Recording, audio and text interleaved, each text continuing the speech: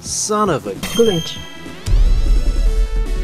Sonic the Hedgehog 3 and Knuckles. The biggest game of the Sonic classics also has some of the most interesting glitches. Oh dear lord does it have glitches. So without further ado, let's get into it. During the intro to Angel Island zone, it's possible to have Tails airlift Sonic while Knuckles is grabbing the emeralds. With player 2 controlling Tails, grab Sonic and move to the right as Knuckles is running off. Now there are various glitchy results you can achieve by having Sonic move into the zone early, like sprites not loading quickly enough so the background and the level objects become glitched, or if the zone's titles appear at a certain point not intended, they'll use sprites from the intro still loaded in memory. We can see sprite tiles of Tails' tornado plane instead of actual letters. Some effects of this early movement are more pronounced. If you jump from Tails around here and then carry on moving through the zone, many of the sprites will be loaded incorrectly, with glitched out sprites instead. Well, it's not that that bad, really. Never mind. Once Angel Island gets torched, the game loads in new sprites and the glitch is corrected. Sonic and Knuckles both have different second acts in Angel Island, with neither able to enter the other's sections. Well, not through conventional means anyway. However, Sonic can get into Knuckles' section using Tails. But first, we have to enter a giant ring or a bonus stage. This will cancel a screen lock preventing us from returning back to the first act. Once we re-enter Act 1, stand on these spikes coming out of the wall and look up to pan the camera. Now use Tails to airlift Sonic up slightly, enough that the spikes are no longer on screen and then lower Sonic down. Sprite objects like spikes don't exist while off screen, and when the spikes appear on screen again, they push Sonic into the wall. Now we need to wait for Tails to rejoin us and then he can airlift us high enough to reach a solid floor within the wall. Then we can simply jump down and land in Knuckles' section of Act 2. Well, kinda. Since we're not meant to be here, the lower section is cut off preventing us from going any further, and we lose a life. Knuckles can enter Sonic's Act 2 in his super forms, although to do this we yet again need to have entered a bonus stage and then backtrack to Act 1. By climbing this wall and jumping at a certain point, Knuckles in his super form will have the speed to land on these spikes and carry on to Sonic's Act 2. If you do this without having already entered Act 2 and a bonus stage, the boss will trigger but in Knuckles' section and you'll be stuck here unable to attack. Once Knuckles is in Sonic's Act 2, the water present in Sonic's version will be gone. Besides that, the stage is the same, until you reach the part of the act with the airship. No airship will load as that's not part of Knuckles' stage. You can run through to the other side, but there's a screen lock preventing you from going on to fight Sonic's Act 2 boss. And seeing as the tunnel you emerge from is blocked off once you leave it, you're stuck.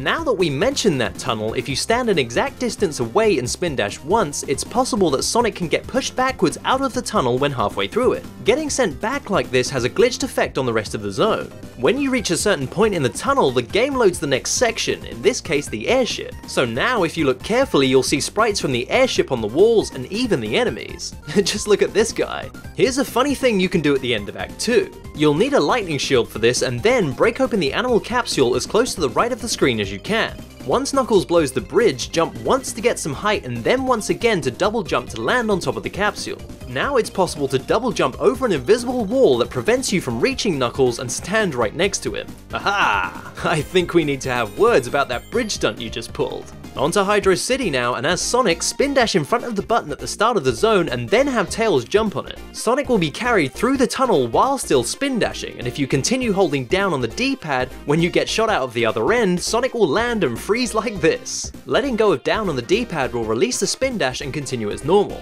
Using Tails to airlift Sonic, it's possible to go over the top of these walls preventing you from backtracking to the start of the first act. When you get back to the beginning of Act 1, the tiles underwater will be the wrong colour, for some odd reason. Also, Sonic can get stuck on this wall as the tunnel tries to pull him in. Sonic will stay there until you press down on the D-pad and things return to normal. After the huge wall has stopped chasing Sonic at the beginning of Act 2, have Tails break down the walls and then stand about here to prevent new walls coming down. Now move Sonic right and then back to the left and now the huge wall will be gone. Usually, new walls would cut off access to the beginning of the act, and the huge wall always unloads to save memory. It's not intended that you can backtrack like this, but this section is now available to explore, although it feels a bit emptier now. As Knuckles climb a wall under these moving platforms and they push Knuckles down to the point where he's climbing in the air. If you're supersonic, during the Knuckles cutscene in Act 2, hold right on the D-pad the entire time and then once the bridge collapses, make your way to the boss as quickly as possible. Because Supersonic moves quicker than regular Sonic, it's possible to pass the boss before the screen locks and make it to the animal capsule which isn't loaded correctly at first. Jumping on the switch to end the act as usual brings up the score, but then the cutscene that takes Sonic to Marble Garden never plays. You'll still be able to hear Robotnik in the background and Sonic is just waving his finger. Sonic knows what's up. If you do the same glitch but return to the boss fight, screen lock still won't happen and the animal capsule will unload. And you'll also be able to reach the very end of the zone, which is a huge drop into nothing. If Super Sonic gets sucked up by Robotnik's whirlpool, Sonic's sprite will be that of normal Sonic, but he'll be yellow and still invincible. Sonic will no longer lose rings but won't move as quickly or jump as high as Super Sonic. This is a Sonic 3 only glitch that was fixed in Sonic 3 and Knuckles. And now for the first major glitch in the game. At the beginning of Act 2, hit the star post and then get crushed by the wall. Act 1 is still loaded and we need to lose a life to unload it and load Act 2 correctly for this next glitch to work. With the second act now loaded, we can do a horizontal underflow or level wrap, a glitch that will take us all the way to the end of Act 2 in seconds. The level wrap in Hydrocity Zone Act 2 is performed like so. Spin dash and do a small jump and then hold down on the D-pad to roll towards the moving wall. Before you hit the wall, jump once again and then hold right on the D-pad. When Sonic reaches the rings, tap jump again and the wall will now push Sonic into the ground. Now just keep holding right until the screen reaches about this point here. As the screen keeps moving, tap left to face Sonic in that direction and then hold down and begin charging a spin dash for around 4 seconds. The screen will begin moving upwards and then lock at the boss to proceed as normal.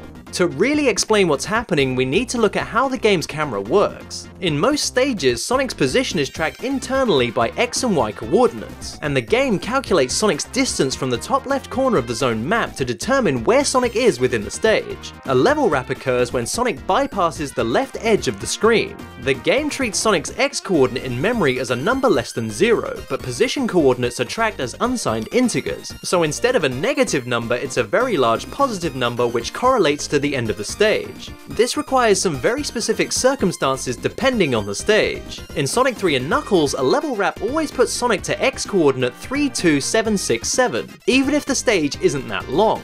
To fill out the remainder of the map, the level repeats itself, creating an area called the Loopback, where no sprites exist but all the level geometry is still in place so Sonic can still maneuver around. However, if the camera locks on the boss room, as in this example, Sonic is automatically placed at the boss.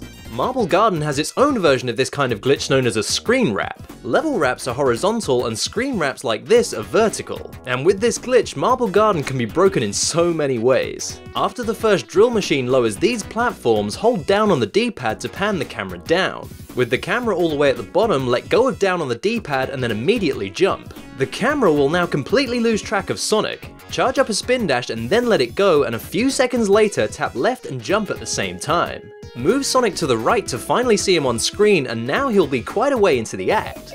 During this glitch, Sonic will be inside a wall, and pressing left will make the wall's collision eject Sonic in the opposite direction so he isn't stuck. A screen wrap is similar in concept to a level wrap, but uses vertical coordinates instead of horizontal. Some zones in the game are so tall that they exceed the amount of space available for the stage. In order to fit the whole stage, they wrap vertically infinitely. In stages that wrap vertically, like Marble Garden Zone, instead of using absolute values for vertical position, it uses values linked to the camera position. The top of the camera is position 0, and anything above it is negative. Since such position values are unsigned, that would read as a large positive number, which causes the screen to move downwards to that position to find Sonic. In the time it takes to scroll down, all sprite objects cease to exist until they're brought back on screen and characters can move into them. And this glitch can be performed a few times in Act 1 of Marble Garden to end up further than intended. In this section after the loop, crouch once again, but this time when the camera is panned all the way down, let go of the D-pad and then jump right. A second or two later, do two separate spin dashes in quick succession. Hopefully when the camera catches up to Sonic, he should be inside a yellow spring.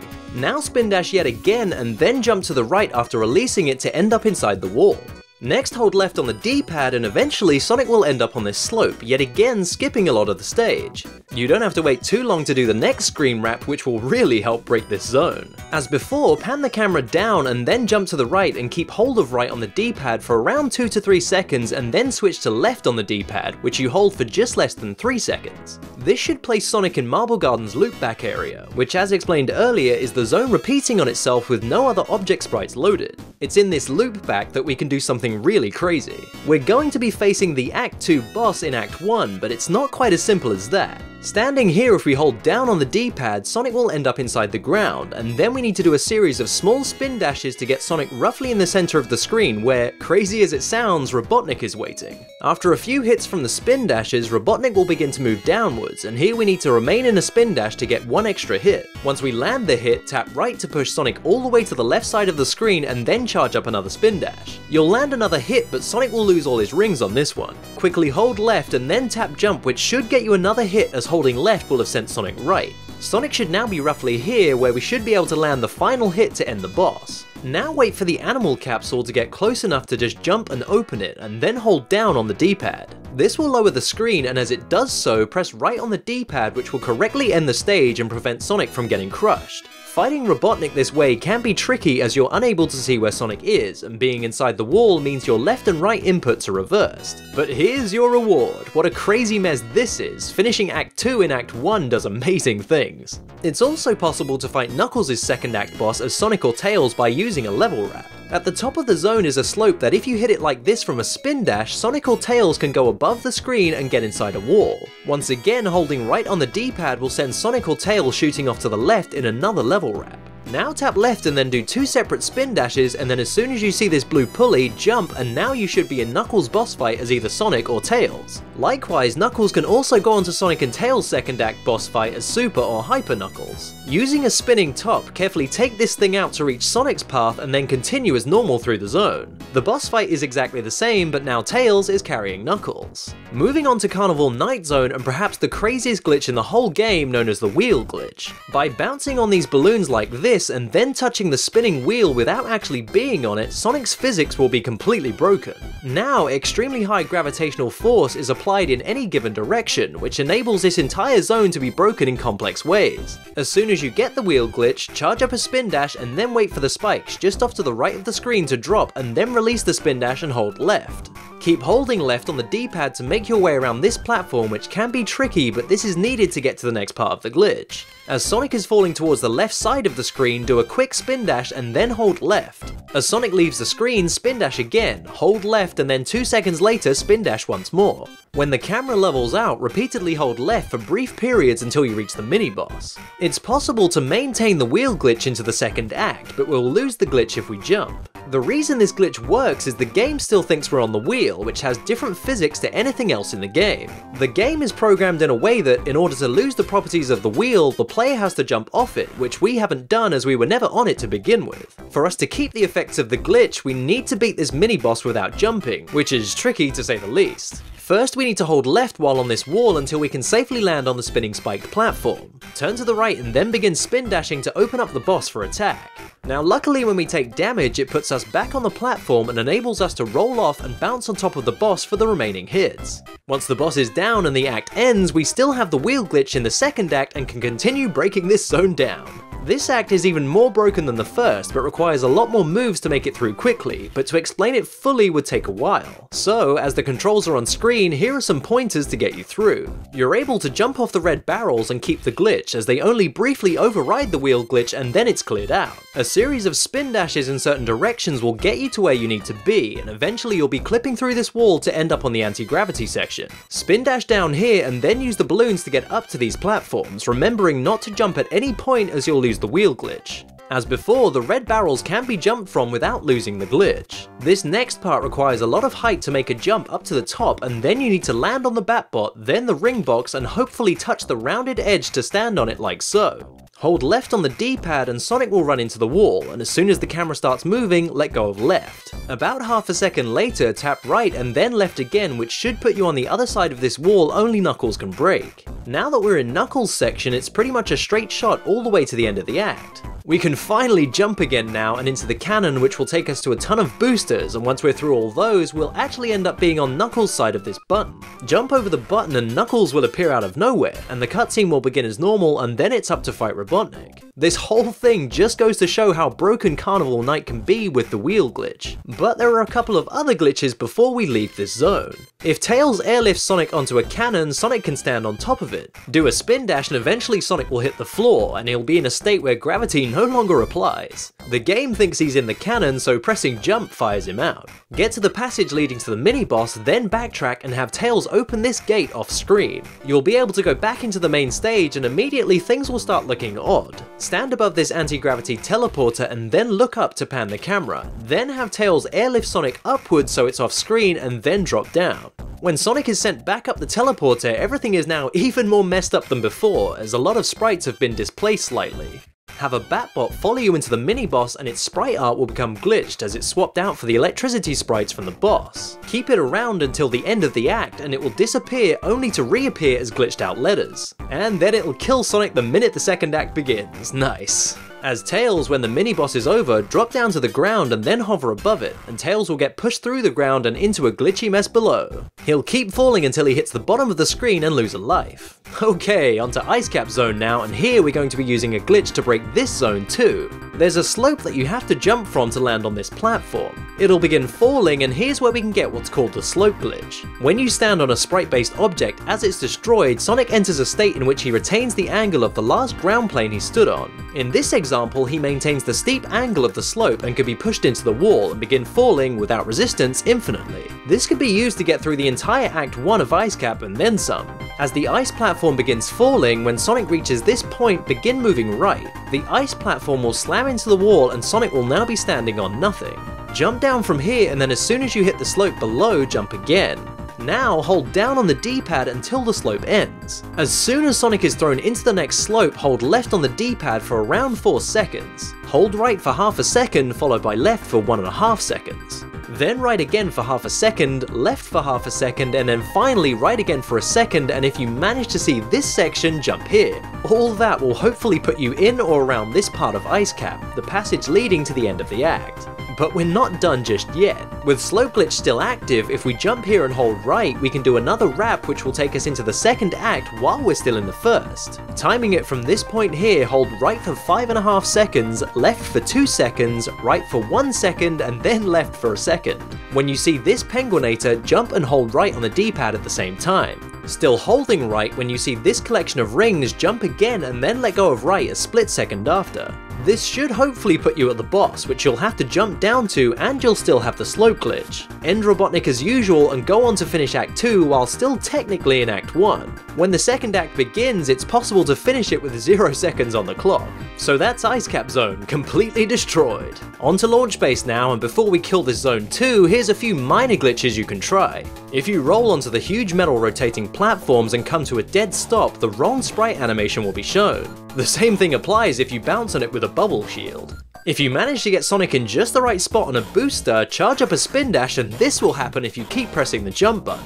At the beginning of Act 2, make sure you have a lightning shield and make your way down here to a fire shield on a platform above the water. Stand next to it and then spin dash and when you hit the water, it'll turn completely white. You can only see Sonic once he goes above the water and this glitch can only be fixed by entering a bonus stage to reload everything as normal. Okay, let's break Launch Base Zone. When Act 1 begins, we need to do things in a sequence to set up the next level wrap. We need this flybot to follow us down here under the huge rotating platform.